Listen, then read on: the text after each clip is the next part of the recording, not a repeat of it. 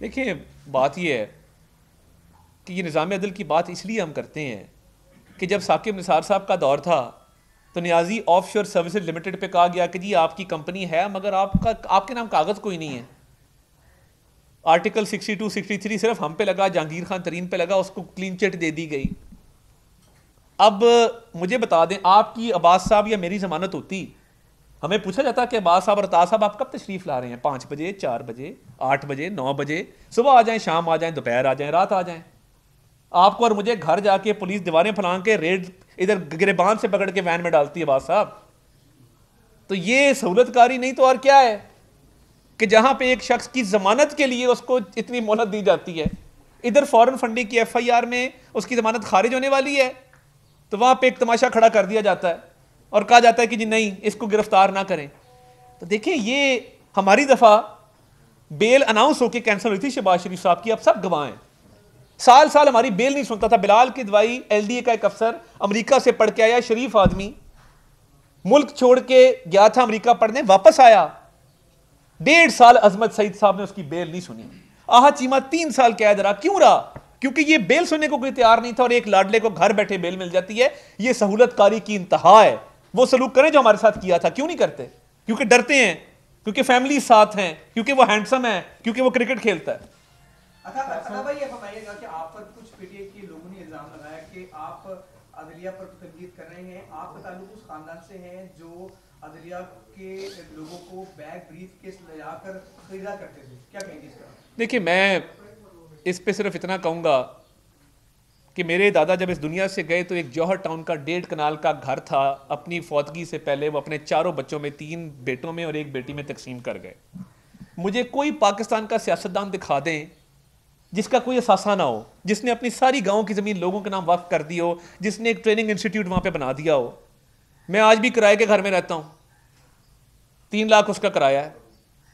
तो बात यह है, कोई सबूत देना किसको ब्रीफ केस दिया, किस बात के लिए दिया? और उसका क्या सबूत है? बातें करना तो बड़ा आसान है।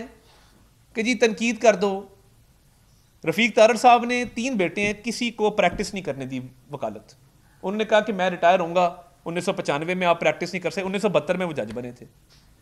और उन्होंने कहा कि मेरे नाम से आप फ़ायदा हासिल करेंगे, लोगों के जेन में आएगा जज के बच्चे हैं। तीसरी नस्ल में मैंने आके लॉ किया। तो हम तो इस तरह के लोग हैं। इस वक्त जितने हाई कोर्ट्स हैं जितना सुप्रीम कोर्ट है सारों के असासे सामने रख दें और अगर रफीक तारक का असासा किसी ज़्यादा निकल आए तो मैं सियासत छोड़ दूँगा और इन सारे जज साहबान से माफ़ी मांग लूँगा अच्छा ये बताएँ तारक साहब ये जो जस्टिस का आप ज़िक्र कर रहे हैं मोहसिन जज वो कह रहे हैं कि मेरे तमाम असासे हर चीज़ जो है एफ़ के अंदर रजिस्टर्ड है और दूसरा ये कि जब तक उन पर कोई इल्ज़ाम नहीं साबित होता आप किस तरह उनको कह सकते हैं बैंक से आपको दस करोड़ का घर कैंट में मिल सकता है आप अभी जाएँ। आपको कोई देगा चार कनाल का घर दस करोड़ में? आपके नाम रजिस्ट्री कोई कराएगा? देखिए, दस्तावेजी सबूत है ना, मैं कोई हवाई बात तो नहीं कर रहा। वो दस करोड़ का जवाब कौन देगा? कोई दे देना। बता दे कि जी, ये चालीस करोड़ का घर दस करोड़ में हमने लिया है, हमारी मर्ज़ी। हमारे दोस्त थे, उन्होंने हमें कहा, जी, तीस करोड़ आपको माफ़ करते हैं। अल्लाह ऐसे दोस्त आपको और मुझे भी दे। पता नहीं हमारे दोस्त ऐसे नहीं है कि जो तीस तीस करोड़ के मेरे आयत दे दें। ये दस्तावेजी बात है ना। अगर आपके चैनल इतनी हिम्मत करते हैं तो मैं आपको भेजता हूँ, आप वो दस्तावेज़ चला दें। बात सीधी है। मैं कागजों पे बात कर रहा हूँ, हवाई बात तो कर नहीं रहा। बड़ी मदमाना गुजारिश है कि तहरीरी तौर पर पी डी एम की जमातें ये सदा कर चुकी हैं कि दो जज साहबान बेंच से लैदा हो जाएँ और फुल कोर्ट की भी सदा कर दी गई है कि फुल कोर्ट तश्कील दे दिया जाए। आइनी तशरी का मामला है। जब वहाँ पे पार्टी हेड की डायरेक्शन का मामला आया था मुनरफ अराकीन वाला तो कहा गया कि जो मुनरफ अराकीन है, वो पार्टी हेड की डायरेक्शन के पाबंद नहीं है, उसकी हिदायत के पाबंद नहीं है। पार्टी हेड तो डिक्टेटर बन जाएगा। वो तो पार्लिमानी पार्टी का फैसला आइन कह रहा है कि पार्टी हेड की डायरेक्शन है। नहीं उसकी तशरी कर दी गई और वो पीटीआई को सूट करती थी। उनकी गवर्नमेंट बन गई पंजाब के अंदर। ये बार बार बार बार बार बार सहूलतकारी ये कैसे चलेगी? मुझे भी लोग कह रहे हैं, जी, आप बस कर दें, ना बोलें। मैं बिल्कुल खौफजदा नहीं होऊँगा इस चीज़ से। मैं बड़ा कमज़ोर आदमी हूँ। जबान ही है मेरे पास। अगर इसको भी ताला लगा दें, फिर जीने का कोई हक नहीं हमें।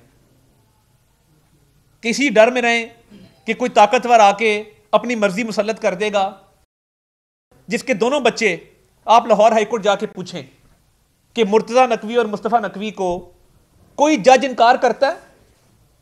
चार साल हुए प्रैक्टिस को, करोड़ों रुपए की प्रैक्टिस है, उनकी क्लाइंट्स की लिस्ट देखें आप कभी निकाल के।